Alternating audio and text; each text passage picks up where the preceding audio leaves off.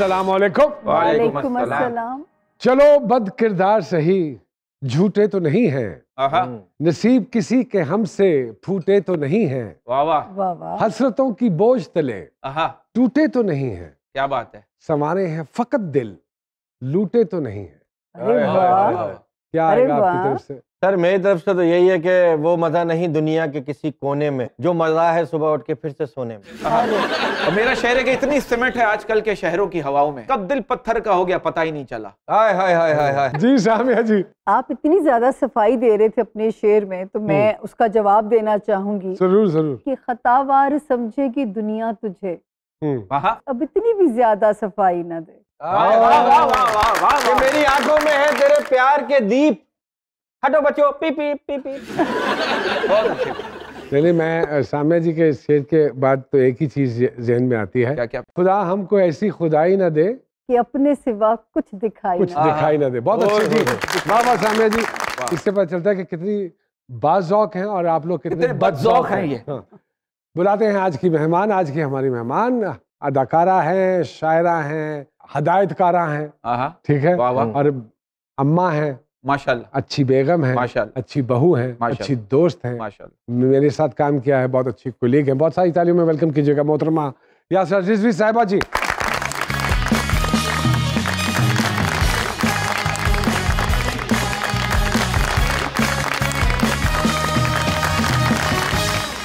बड़ी मेहरबानी। अस्सलाम वालेकुम।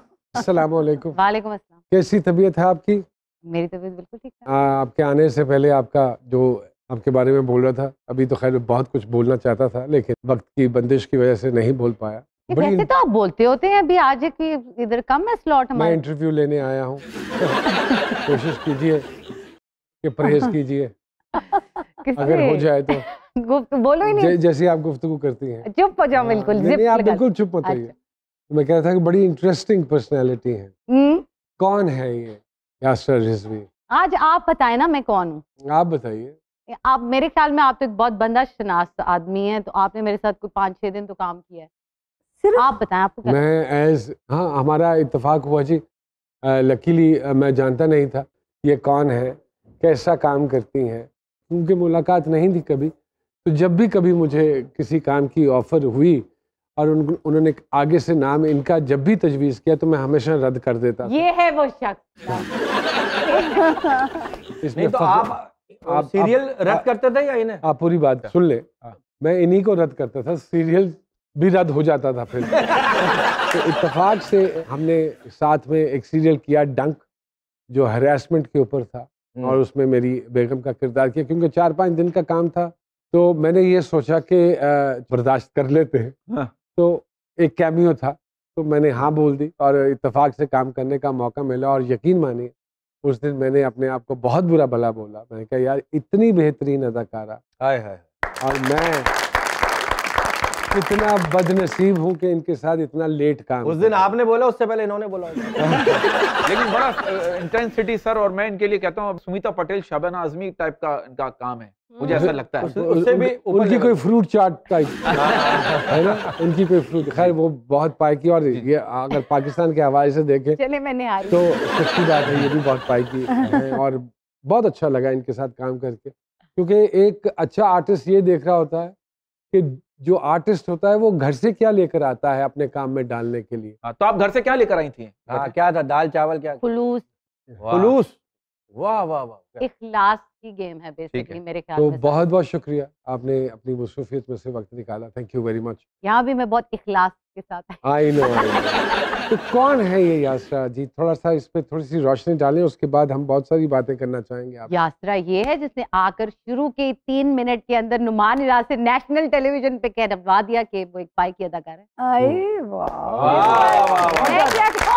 What ये तो मैं पहले भी कह चुका हूँ। पाए की अदाकारा है। सिरी पाए की अदाकारा है। No, but that's really nice of you to say it in all honesty, क्योंकि ये मेरे लिए बहुत बड़ी मोमेंट है। ये एक जो इस वक्त ये लम्हा है बहुत बड़ा लम्हा है। यहाँ मैंने the likes of Bushra Ansari set here you are interviewing I am here बहुत ऑन सीन है ये। तो मैं है, ओवरवेल्म हूँ इस वक्त मैं मेरा मेरा जिस्म काँप रहा है मैं बहुत जल्दी आसानी से नर्वस नहीं होती हूँ। अल्लाह बेहतर। अरे my heart is beating so fast right now और क्या चाहिए ज़िंदगी में? इजाज़त चाहिए मतलब यहाँ पे वही खुश नसीब आके बैठते हैं जिन्होंने ज़िंदगी में कुछ न कुछ अचीव किया होता है या जिनको अल्लाह पाक की खास रहमत होती है वही लोग आके बैठते पर हैं ये रियलाइजेशन इस वक्त मेरे लिए बहुत ओवरवेलमिंग है। नहीं आप इसको यकीन मानिए ये यार आई एम वेरी हैप्पी ऐसा। थैंक यू यासिर जी आपने कब काम शुरू किया? How many years back television ji. About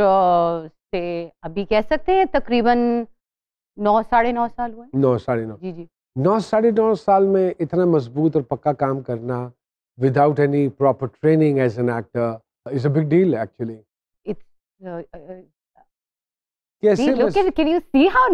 कैसे महसूस हुआ कि मैं एक्टिंग कर सकती हूँ? अब मुझे महसूस क्योंकि मुझे तो अभी भी पैंतीस साल गुजर गए हैं ये काम करते हुए ये महसूस होता है आज भी जब काम पे जाता हूँ तो टांगे। उतनी ही काँप रही होती जो पहले दिन काँप रही थी कि पता नहीं निभा हाँ भी so I have that feeling every time मेरे टोटल जो बॉडी ऑफ़ वर्क है अभी तक इन नौ सालों में भी वो वन सिंगल प्ले टेलीफिल्म और सीरियल मिलाकर कोई 24-25 प्रोजेक्ट्स हैं टोटल इससे ऊपर काम नहीं किया हुआ मैंने यही टोटल काम है मेरा। हम्म, और उसमें भी अभी भी फीलिंग वही है पहले दिन। Like I don't know if you मैं ये मेरा मानना ये है कि ये खौफ रहना चाहिए। अगर आप में ये खौफ रहेगा तो आप बेहतर से बेहतर कर पाओगे। और अगर आप ये समझते हो कि जाना है और करके मैं नहीं नहीं वो नहीं मुझे हाँ। कभी तो फिर आपकी फील जाती। ग्रोथ रुक जाती। तो अभी अभी I don't know if you remember जब डंक में व्हेन यू वॉकड इन तो हम लंच टेबल पे बैठे हुए थे। और मुझे ये पता था कि मैंने नुमान जाज के साथ काम करना है ना लाइक आज मुझे उनके साथ शूट करना है। हम्म। तो when you walked in I instantly got up and I was like अब मैं बिल्कुल मेरा एक इंस्टेंट रिएक्शन था वो मेरी बॉडी ने खुद एक डिफ़ॉल्ट रिएक्शन किया तो पैक हुई हुई थी मेरी बिल्कुल ना मैंने कहा ओ माय गॉड अभी तक भी जो किया है और अभी तक कुछ लोगों ने तो बता ही दिया था ना कि मुनासिब है काम। खुद भी बंदा थोड़ा देख के समझ लेता है कि ठीक है आता कुछ तो आता ही है लेकिन बिल्कुल उसे लग रहा था कुछ भी नहीं आएगा आज। यासरा रिजवी साहिबा हमारे साथ मौजूद हैं। एक छोटी सी ब्रेक के बाद जी सरकार में दोबारा आपकी खिदमत में हाजिर होते हैं।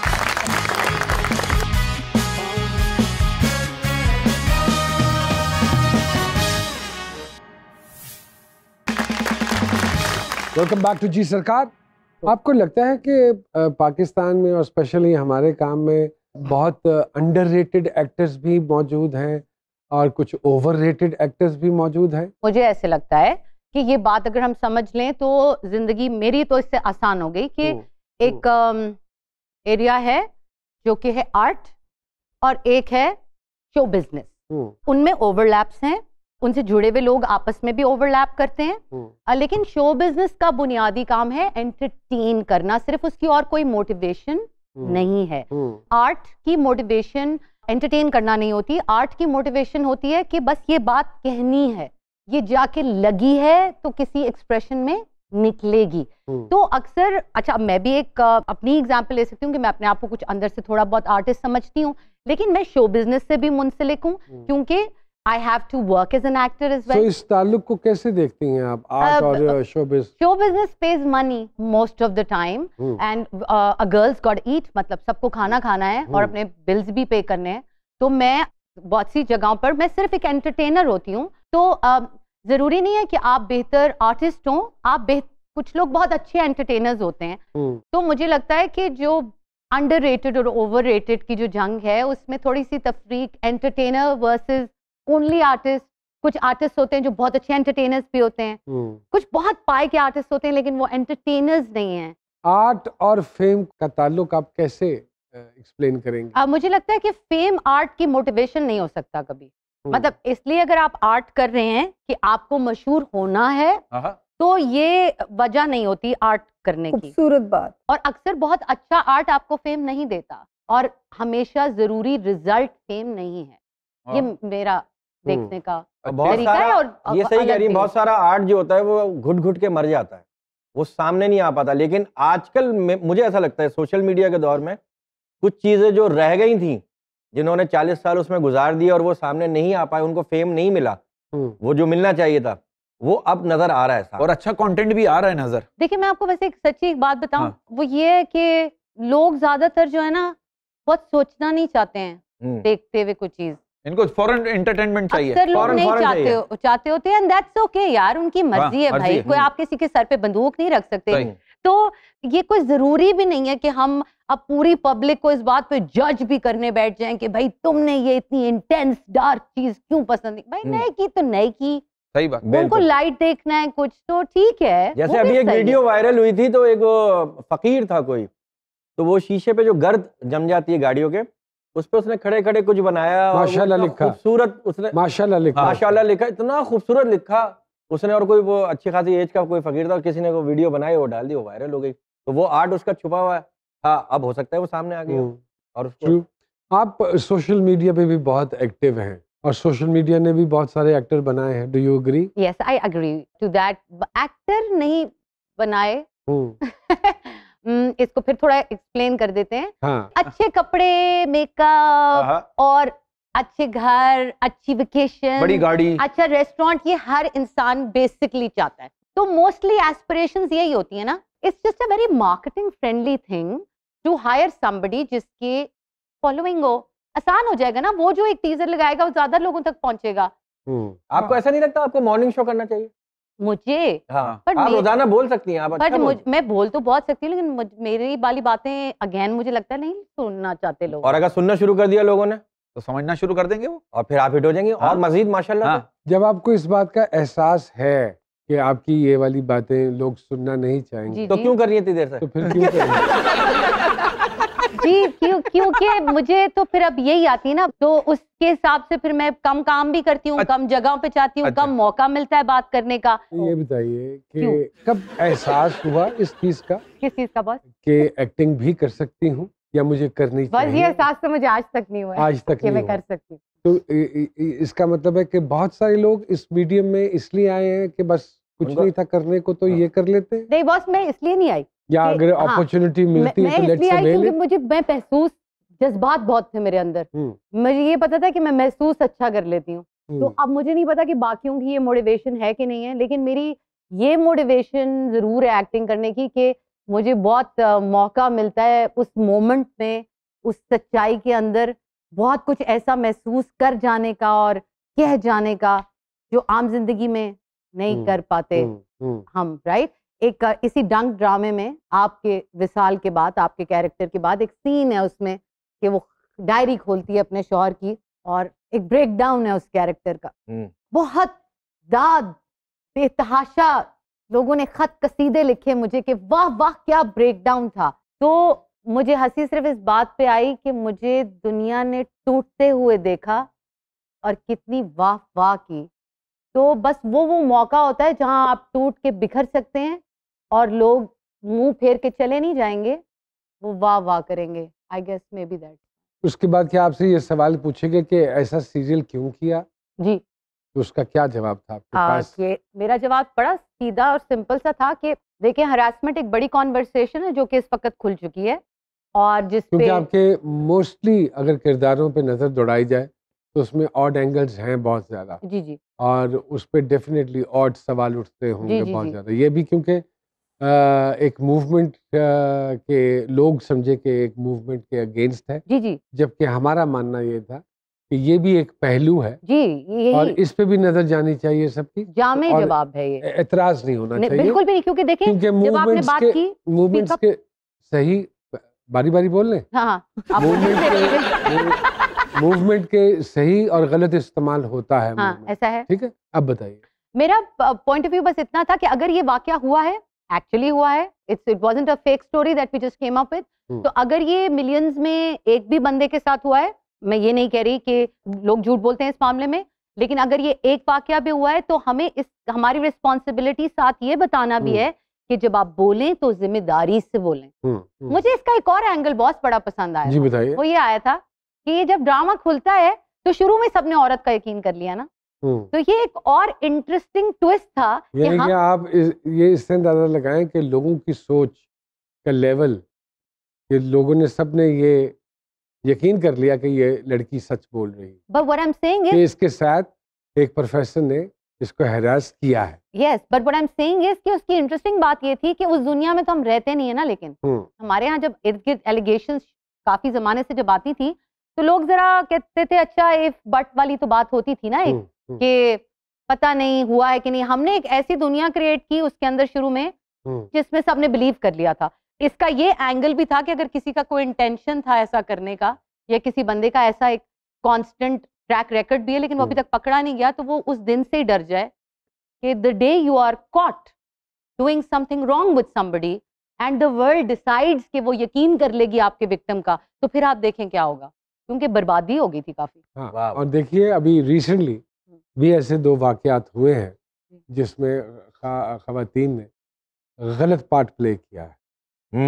ठीक है? एक आपका मीनार पाकिस्तान वाला वाकया है आयशा का और अभी ये फैसलाबाद में एक वाकया हुआ है।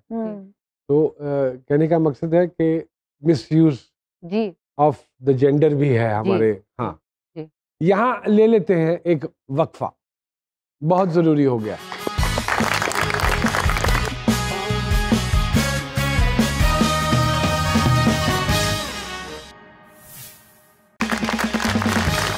वेलकम बैक टू जी सरकार जी दिल ना उम्मीद तो नहीं।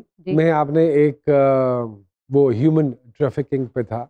जी। उसमें अभी वो भी एक बड़ा डिफ़िकल्ट और ऑड सा कैरेक्टर ये खुद अपनी पर्सनल चॉइसेस हैं इन किरदारों को लेकर? मुझे यूजुअली कैरेक्टर्स अब ऑफ़र ही ऐसे होते ऐसे हैं होते हैं। और अ, फिर मैं चूज़ भी कर लेती हूँ।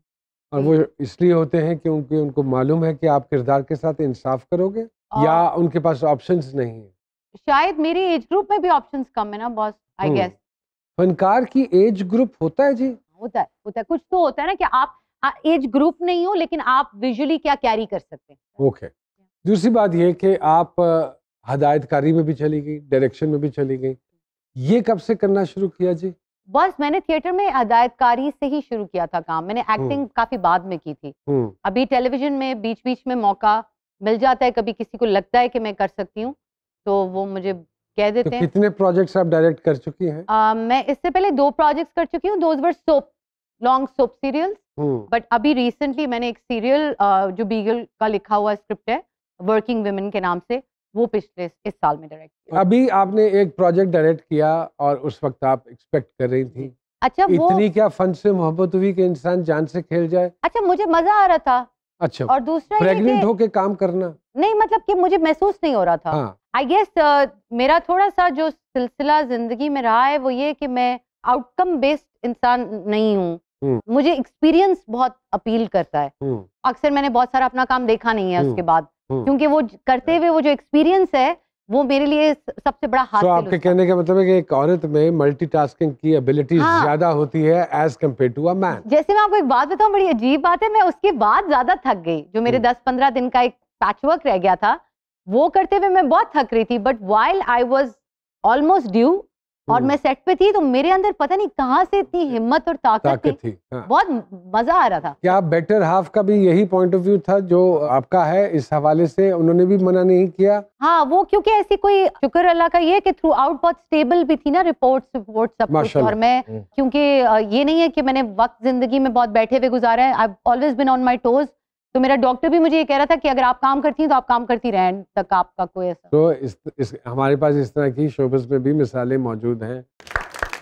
वाह, वाह, वाह। इतनी हैं आप अल्लाह पाक आपको ऐसे ही हिम्मत दिए रखे। मियाँ आपके खुश हैं कि आप अ, काम में इतना मसरूफ रहती हैं और अब क्योंकि आप इस वक्त हमारे प्रोग्राम में हैं और छोटा तो साथ नहीं आया होगा। नहीं नहीं। हम्म, सर्दी भी बहुत है। उधर है। क्योंकि मेरी मदर इन लॉ भी आई नहीं है। अच्छा वो संभाल तो रही उन है। उन्हीं उनको तो मौका भी मिल गया ना एक पूरा एक्सेस फुल एक्सेस पास है इस वक्त उनके तो वो अच्छा। सबके साथ बहुत इंजॉय करती हैं क्योंकि जब वो पैदा भी हुआ था तो वो टू थ्री मंथ्स रही थी और उन, उनकी हेल्प के बगैर मैं ये नहीं कर सकती थी। पॉसिबल नहीं। She was there she you guys get along very well yes yes she Okay. kept him at night. My sister-in-law is also very तो मैं उस तरह बहुत सॉर्टेड हूँ माशाल्लाह। वो इस, कहीं इस चीज़ को ज़्यादा एंजॉय तो नहीं कर रही कि आप नहीं है वहाँ? मेरी मदर इन लॉ हाँ। क्या पता कर रही हो?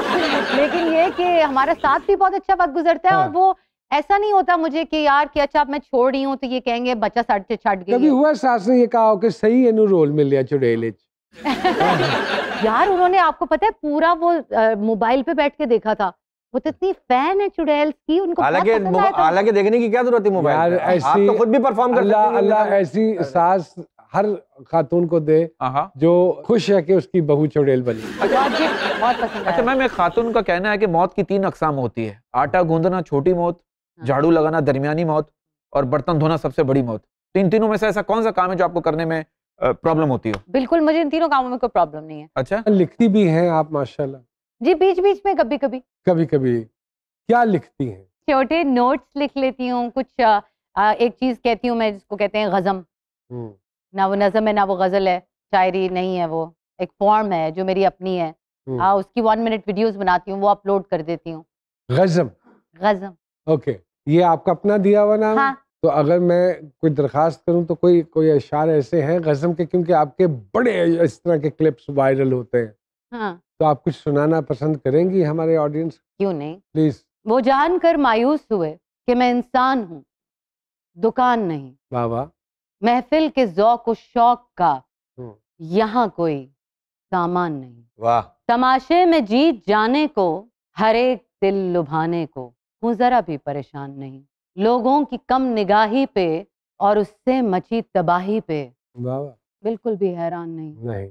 ये मेरे बालों की उलझने उनकी तो दास्तान नहीं। ये मेरी आँखों की मुश्किलें। किसी गैर का एहसान नहीं। दुनिया में पला हूँ दुनिया से जला हूँ कब का मर गया होता पर कैसे टला हूँ। मेरा देश परिस्तान नहीं और जिया बिना तावान नहीं। देखने में लगता है पर मैं होना आसान नहीं। गया नहीं हम इतने महब हो गए थे आप।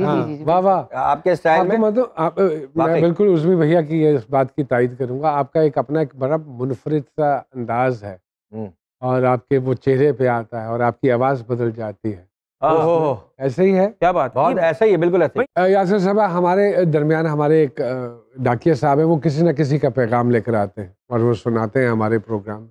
अगर आपकी इजाज़त हो तो मैं बुलाऊ जी जी जी। जी आइए तशरीफ़ लाइए। फिरोज साहब।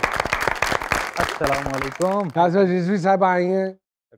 किसका पैगाम लाए हैं सरकार आज? सरकार आज पैगाम जो है वो एक शायर का पैगाम। उतनी खैर हो शायर साहब कहते हैं कि अज दी शायरी की मैं दसा उद ते या मैं हाँ। काफिया ना रदीफ है कोई ਜੁਬਨਿਆ ਵਿੱਚ ਨਾ ਯਕਸੋਈ ਵਜ਼ਨੀ ਕੋਈ ਵੀ ਗੱਲ ਨਹੀਂ ਰਹਿ ਗਈ ਸ਼ਾਇਰੀ ਦੀ ਉਹ ਕੱਲ ਨਹੀਂ ਰਹਿ ਗਈ ਵਾਹ ਵਾਹ ਤੇ ਲਫ਼ਜ਼ਾਂ ਦੇ ਨੇ ਪੈਰ ਖਰਾਬ ਆਪ ਹੀ ਹੋਣੀ ਬਹਿਰ ਖਰਾਬ ਅੱਜ ਦੇ ਗਾਣੇ ਹਰਫ ਜੋ ਚੁਣਦੇ ਤਾਈਓ ਦੂਜੀ ਵਾਰ ਨਹੀਂ ਸੁਣਦੇ ਹਾਂ ਵਾਹ ਵਾਹ ਵਾਹ ਵਾਹ ਤੇ ਖਿਆਲ ਦਾ ਹੁਣ ਤੇ ਖਿਆਲ ਨਹੀਂ ਕਰਦੇ ਹਾਂ ਅੱਜ ਦੀ ਸ਼ਾਇਰੀ ਮਸਲੇ ਕਰਦੇ ਤੇ ਲੋਕਾਂ ਵਿੱਚ ਅਦਬ ਦਾ ਘਾਟਾ ਤਾਈਓ ਪੁੱਟਦੇ ਅਦਬ ਦਾ ਝਾਟਾ ਆਹਾ ਤੇ ਮੌਸੀਕੀ ਨੂੰ ਵੀ ਮਰਜ਼ਾ ਨੇ ਹੁਣ ਟੁੱਟੀਆਂ ਫੁੱਟੀਆਂ ਤਰਜ਼ਾਂ ਨੇ ਹੁਣ। ਆਓ ਮੈਂ ਦੱਸਾਂ ਕੀ ਹੈ ਸ਼ਾਇਰੀ। ਸ਼ਰਮਾ ਵਾਲੀ ਧੀ ਹੈ ਸ਼ਾਇਰੀ। ਹੱਕ ਨੂੰ ਸਾਫ਼ ਪਚਾਉਣਾ ਸ਼ਾਇਰੀ ਸੱਚ ਦੇ ਨਾਲ ਖਲੋਣਾ ਸ਼ਾਇਰੀ। ਆਹਾ। ਅੰਦਰ ਦਾਤੇ ਸੁੱਖੇ ਸ਼ਾਇਰੀ ਤਾਈਓ ਰੂਹ ਦੀ ਭੁੱਖੇ ਸ਼ਾਇਰੀ। ਵਾਹ ਵਾਹ। ਦਿਨ ਦਾ ਚੜਨਾ ਸ਼ਾਇਰੀ ਏ ਰਾਤ ਦਾ ਢਲਣਾ ਸ਼ਾਇਰੀ ਆਹਾ। ਸਾਹ ਵੀ ਇੱਥੇ ਟੁਰਦੇ ਨੇ ਦਿਲ ਦਾ ਚਲਣਾ ਸ਼ਾਇਰੀ ਵਾਹ ਅਰਦਮ ਤੇ ਹਰਫਾਂ ਦੀ ਤਰਤੀਬ ਹੈ ਸ਼ਾਇਰੀ ਅਕਲਾਂ ਦੀ ਤਰਕੀਬ ਹੈ ਸ਼ਾਇਰੀ ਤੇ ਤਾਰਿਆਂ ਦੀ ਤੇ ਲੋਹ ਹੈ ਸ਼ਾਇਰੀ ਫੁੱਲਾਂ ਦੀ ਖੁਸ਼ਬੂ ਹੈ ਸ਼ਾਇਰੀ ਵਾਹ ਵਾਹ ਸ਼ਾਇਰੀ ਜ਼ੇਨ ਫਿਕਰ ਦਾ ਮੰਗਦੀ ਸ਼ਾਇਰੀ ਲਹੂ ਜਿਗਰ ਦਾ ਮੰਗਦੀ ਹਰਫਾਂ ਦਾ ਕੋਈ ਤਾਲਬ ਨਹੀਂ ਜੇ ਹੂੰ ਤਾਈਓ ਅੱਜ ਕੋਈ ਗਾਲਬ ਨਹੀਂ ਨਹੀਂ ਜੇ ਵਾਹ ਵਾਹ ਵਾਓ ਗੁੱਡ ਹਾਂ जी यासिर साहब इस पीस ऑफ़ पोइट्री को सुन के मुझे इस मोमेंट पे I would love to discuss मुझे बहुत क्रिटिसिज्म मिलता है अपनी गज़मों के ऊपर। जश्न उर्दू में बुलाया गया मुझे और मैं सामने जब पढ़ रही थी खड़ी हुई तो पीछे जो शायर थे वो बैठे हुए एक दूसरे के साथ खुसर फुसर भी कर रहे थे और जब मैं उस ग्रीन रूम में भी गई तो उन्होंने कहा कि वो यूट्यूब क्वीन आएँगी क्या? तो जब मैं उस ग्रीन रूम के अंदर पहुँची तो मैंने उन सब की एक हकारत अपने लिए ही महसूस की। और हकारत तो मेरा फ्यूल है मैं बहुत पसंद करती हूँ हकारत को। क्योंकि हकारत मेरे नज़दीक बहुत अक्सर एक बोसीदा जगह से आ रही होती है। तो इस सारे मामले के बाद मैंने एक नज़म लिखी थी जिसका नाम था तारीफ़ का शुक्रिया। उसका एक शेर था कि खैर खा भी जल गए बेवजन सी एक नज्म से। अपने आप को आग लगाकर निकला जब वो बज्म से। तो द पॉइंट वाज दिस जो कि इस जो अभी हमने नज़म सुनी उसका दूसरा हिस्सा था कि ख्याल सच्चाई रूह की भूख और रूह की तड़प जिस एक्सप्रेशन में निकलती है ना वहाँ शराइत खत्म हो जाती है मुझे सिर्फ़ और सिर्फ़ जब मैं अपनी वीडियो क्लिप्स अपलोड करती हूँ तो सबसे ज़्यादा खुशी इस बात की होती है जब कोई 12 13 14 साल का बर्गर बच्चा हमारा होता है ना हाँ। जिसका कोई पोइट्री में इंटरेस्ट हाँ। नहीं है वो मुझे मैसेज करते हैं और मुझे स्पेसिफिकली बताते हैं कि आपकी वो वाली पोम हमें पसंद है हम उर्दू पोइट्री सुनते हैं अब बेहतरीन चीज़ वो है। जिससे लोग रिलेट कर हैं। रिलेट जी। खत्म हो गया। यासरा रिजवी साहिबा हमारे साथ मौजूद हैं। एक छोटी सी ब्रेक के बाद जी सरकार में दोबारा आपकी खिदमत में हाजिर होते हैं।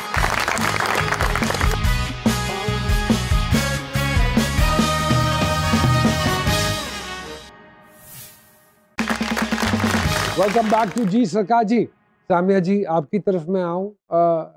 स्टार कौन सा है जी इनका? स्कॉर्पियो और कैंसेरियन का कॉम्बिनेशन कॉम्बिनेशन ओए होए यासरा को मैं पढ़ती हूँ अगर इनका नाम यासरा नहीं होता तो शायद ऐसी स्टेज भी आती कि यासरा शायद अपने आप को उतना कामयाब ही ना करवा पाती क्योंकि इतनी इमेजिनेशन की दुनिया फैंटेसी वर्ल्ड इतनी खूबसूरत है कि जब ज़मीनी हकाइक का सामना करना पड़ता है तो यासरा कई बार टूटी हैं जुड़ी हैं ज़िंदगी में। तो क्या नाम का अमल दखल होता है आपकी पहला शख्स तोहफा है जो माँ बाप अपने बच्चों को देते देते हैं। अच्छा ओके। और क्या कहेंगी शख्सियत के हवाले आ, से? यासरा ने रिलेशनशिप में खासी तकलीफें उठाई ओके दैट्स इट और बताइए इनका इसको कुछ और? थोड़ा सा एक पे बोलने दे। ज़्यादा एलेबोरेट ना कीजिए। हाँ। तो मैं मैं एक्चुअली मैं हाँ, मैं करें कर लें elaborate नहीं।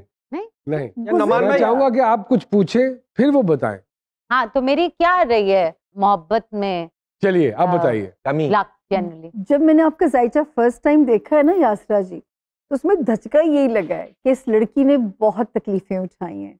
मोहब्बत में जो एक्सपेरिमेंट्स और बिटरनेस देखी है लेकिन नाउ अल्हम्दुलिल्लाह now this is the final entry और अल्लाह का शुक्र है कि अब ये सुकून में है। और क्या आपके जहन में सवाल है यासरा साहिबा? क्या हमेशा जब तक ज़िंदा रहूँगी तब तक अपना काम करती रहूँगी। अगर आप काम नहीं करेंगी तो अपना नुकसान हो जाएगा इनका हम्म। क्योंकि इनके अंदर इतनी एनर्जी है हम्म, जिसका निकलना बहुत ज़रूरी है। हम्म, और ये सिर्फ़ अदाकारी पोइट्री सिंगिंग में भी टांग अड़ाना मतलब घर को भी देखना इनके अंदर अल्लाह ने एक बड़ी मल्टीटास्किंग डाल के भेजी हुई है। तो मेरा ख्याल है जो काम करना है वो यासरा के लिए एक ऑक्सीजन है वरना जो है आप इस दुनिया को सह नहीं पाएँगी। हाँ नहीं हो सकता। हाँ। नहीं हो पाएगा। और क्या है जी जहन में तीसरा सवाल पूछिए। बस हो गए मेरे तो सवाल आते नहीं थे। छोटे छोटे सवाल हैं यासर साहिबा अपनी लाइफ में कुछ बदलने का अगर मौका मिले तो क्या बदलना चाहेंगी? सादा दिली। सादा दिल ही बदलना चाहेंगी। बहुत सारा दिल है। दिल बदलने सही। क्या बदलना चाहेंगे बरकत भैया? मैं भी दिल बदलना चाहूँगा। दिल जब ये दिल ही उल्टे हाथ पे होता है तो आप हाँ। इससे सीधे काम की उम्मीद कैसे रख सकते हैं? अगर आपको पुलिस पकड़े तो कौन सा मुमकिन जुर्म हो सकता है जो आपने किया हो? दंगा फसाद फ़िज़िकल वायलेंस अच्छा लड़ पड़ती हैं। हाँ मतलब अगर बात वहाँ पहुँच जाएगी तो मैं मैं पीछे नहीं हटूँगी मैं तो तो कभी हुआ आपका झगड़ा हुआ कभी? मारा पीटी हुई? जी जी मैं मारपीट तो आपने मारा ज़्यादा? मैं अक्सर जब मैं मारना शुरू करती हूँ तो फिर मैं ही ज़्यादा कभी कोई खतरनाक या खूबसूरत मैसेज किसी गलत नंबर पे आपसे चला गया हो? वही जिस दोस्त के बारे में आप मैसेज कर रहे होते हैं उसी दोस्त को ही कर दिया। क्या? तेरा पता नहीं कि इसको मत बताना कि हम वहाँ जा रहे हैं वहाँ उसकी पता नहीं कोई दोस्त आ रही है ये ऐसी उस पर लाइन मारना शुरू हो जाएगा। हम्म, ऐसा कुछ उसमें भैया कभी हुआ ऐसा? नहीं सर मैं बड़ा चला हूँ। हाँ वो तो खैर मैं भी उतना ही हूँ। मेरे से हुआ था। अच्छा? और डॉक्टर आमिर को चल। डॉक्टर आमिर याकर साहब को। तो उन्होंने तो एंजॉय किया होगा। वो बड़ा दीनदार आदमी है वो। हाँ वो इस मामले में उन्होंने ऊंजी वापस भेज देता उनका मुझे फ़ोन आ गया। मैं कही नहीं क्या? सर ये बात मैं इस किसी और उसमें कर। कॉन्टेक्स्ट में कर रही अच्छा। लेकिन आप जो सोच रहे हैं वो भी ठीक है इन्होंने कहा। आपका कोई फ़ैन मोमेंट मेरा fan moment obviously I told you the first time I ever worked with you अच्छा। वाह वाह। आई वाज वेरी फैंटेसाइज्ड क्या बात? क्या बात you worked with Moin Akhtar साहब। या सर। अल्लाह पाक उनको जन्नतुल फिरदौस में जगह दे। वो फ़ैन मोमेंट था जब पहली मर्तबा मैं तो सर पहली बार मैं जब बाहर मुझे घर पे छोड़ना है बाहर तो मैं चलना भूल गया उल्टा उल्टा चल रहा हूँ मैं। मैं सच्ची बात बताऊँ? मैं एक जगह एक, एक ऐसी प्रोग्राम रिकॉर्ड कर रहा था मैं उससे पहले मोइन अख्तर साहब से मिला नहीं था। अचानक आके बैठ गए वहाँ पर स्टूडियो में इत्तेफाक से मोइन अख्तर हम्म, साहब। हम्म। तो अंधेरे में मेरी ऐसी नज़र पड़ी अब शो चल रहा है। मैं एकदम नज़र पड़ी मोइन अख्तर साहब पे मैंने माइक यूँ करके निकाल के रखा है और मैं और डायरेक्टर कह रहा हूँ भाई क्या हो गया क्या हो गया? मैंने कहा यार मोइन अख्तर और उन्होंने फ़ौरन जूस मंगाया ऐसे जा हाँ। और बाद में डब्बा इसको घर पहुँचाया। आपके आया कोई फ़ैन आपको याद होगा जब हमने और आपने आपदा परवीन जी के साथ अरे अल्लाह अकबर अल्लाह दो अकबर। कितने दिन सुरूर नहीं गया था उस मेरा फ़ैन मोमेंट था मैं पहली मरतबा कराची काम करने के लिए गया तो आई सॉ तलत साहब सिटिंग इन द लॉबी वाह वाह पाकिस्तान कराची सेंटर का जो टेलीविज़न स्टेशन है। I was like this I Talat Hussain साहब फ्रॉम मी मेरे उस्तादों में से बहुत कुछ सीखा है उनको ऑब्ज़र्व करके। माशाल्लाह। ऑपोजिट जेंडर में क्या तीन चीज़ें हैं जो आप बहुत नोट करती हो? एक अपनी असेसमेंट भी होती है ना पर्सनालिटी की. ऑफ़ ह्यूमर हम्म, जेनरोसिटी हम्म। काइंडनेस वाह। एक सुबह जागे और बूढ़ी हो चुकी हो हम्म। सत्तर साल की बुज़ुर्ग औरत तो पहले तीन क्या काम करेंगे? मतलब through the course of life नहीं हुई हूँ बस आज सोई तो कल सुबह सत्तर साल की होगी। हाँ जहनी ऐसा हुआ? है नहीं ये फिर मैं सत्तर साल बाद आगे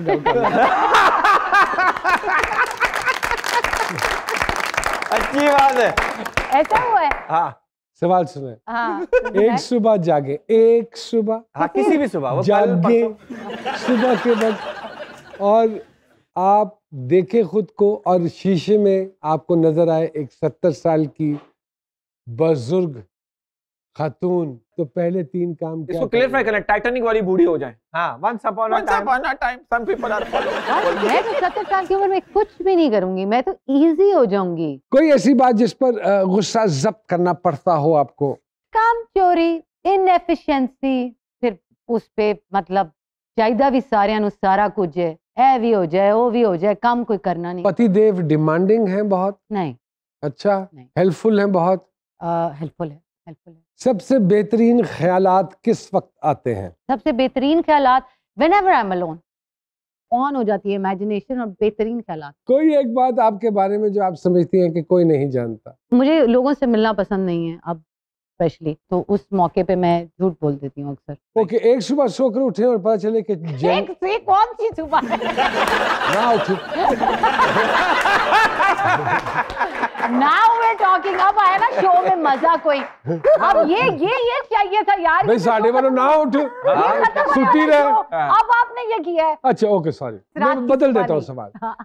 एक शाम आप सोकर उठे। और आपको पता चले कि आपका जेंडर तब्दील हो गया है। मर्द होगी हूँ मैं। हाँ। हाँ। तो अभी पहले काम क्या करेंगी?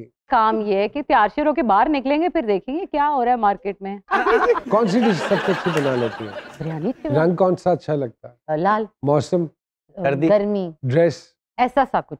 जूते? खुली चप्पल। आहा, खुली चप्पल।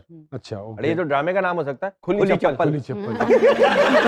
कभी ऐसा ड्रामा ऑफ़र हो बंद पजामा या खुली चप्पल? खुली चप्पल बंद पजामा? हाँ, मतलब फतूरे बे तहाशा और दीवारे चीन जैसे जो नाम है उससे हाँ। फिर मैं खुली चप्पल करना प्रेफर करूँगी। खुली चप्पल बेहतर कॉमेडी हाँ, कभी की? मुझे पसंद है कॉमेडी हाँ की है मैंने। कोई लतीफा आता है? नहीं लतीफा और कॉमेडी अलग बातें हैं बॉस। अच्छा चलिए वो शेर तो सुना दें जो आपकी फैसिनेशन की दुनिया के ऊपर आप अपने बारे में कह रही थी कि मैं। प्लीज़ वो आप शुरू में पूछ रहे थे ना कि मैं कौन हूँ? जी। तो यहाँ से हूँ कि वहाँ से हूँ मालूम नहीं किस जहाँ से हूँ। ये तो ज़मीन ने खींच रखा है शायद मैं आसमां से हूँ। तो ये कंफ्यूजन है मुझे अपने बारे में कि मैं मैं कौन यूनिवर्स की कौन सी गैलेक्सी से बिलोंग करती हूँ? मुझे अपना आप इस दुनिया में कभी बिलोंग करता हुआ महसूस कभी सोचा या किसी ने मशवरा दिया कि किसी अच्छे से साइकाइट्रिस्ट से मिले? हाँ हाँ जी जी। मिली? वो गोलियाँ कह देते हैं खाने को ना। हाँ, सही। और गोलियाँ जो और ना इनको गोलियाँ कराने की आदत है। Thank you very much Yasir साहब के लिए बहुत सारी क्या बात क्या बात ज़िंदा लोगों की कदर करना सीखिए। ज़िंदा लोगों के चेहरे पे स्माइल लाना एक मुस्कुराहट लाना उनकी कब्र पे फूल रखने से। बेहतर है। अपना खास ख्याल रखिएगा। इन जी सरकार के अगले एपिसोड के साथ दोबारा आपकी खिदमत में हाजिर होंगे